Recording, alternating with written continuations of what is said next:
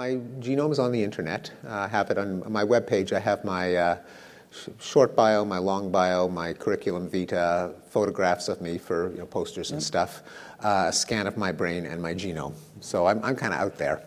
But I did it not because I'm an exhibitionist, but just because I know there's just nothing interesting in there. It really is. It's a bunch of A's and T's and C's and G's, and we don't know how to read it. And uh, the around the time that, that uh, George Church and, and uh, his collaborators set up the Personal Genome Project, the first 10 of us had discussions of, you know, what were the risks, what are we afraid of? Someone said, well, gee, what happens if, uh, you know, I have the, the, dishonesty gene and, you know, my daughter's boyfriends, you know, look it up and they find that her father has is dishonest. And the thing is that uh, in just about anything of any human interest, you get much more information from direct uh, indicators of the phenotype than you do from the genotype.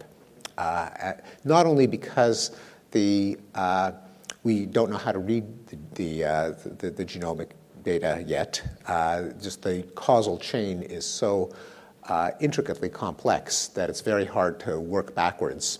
but also, we even know, you know, I'm a great believer in, in the old fashioned study of behavioral genetics, the study of twins and adoptees, as a source of information about uh, effects of genes. We know that genes matter a lot in aggregate. There's a, if you had an identical twin who was separated from you at birth, you'd be much more similar to him than to anyone in this room. On the other hand, the two of you would not be indistinguishable. There is, uh, you know, he might be gay while you are straight or vice versa. Uh, you, your intelligence would be correlated, but not perfectly.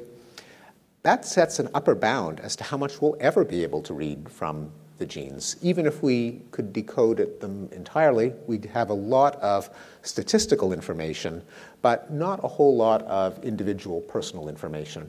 And that's why I felt completely comfortable going public. So even, if, even if terrorists got hold of it, what could they possibly what could they, Yeah, what, what, could they do? Or what could they do they wouldn't, if, if someone wanted to snoop around and embarrass me, uh, they would get a lot more by hacking into my email than they could by hacking into my genome.